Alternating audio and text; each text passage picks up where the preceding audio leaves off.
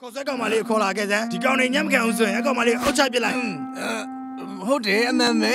အဲ့ဒါဆိုဒီကောင်တွေအလွယ်တကူအညံ့ခံလာလိမ့်မယ်ဟမ်ဒါကချီခင်လုံးလေထိုးတဲ့ခါမှာသုံးတာပေါ့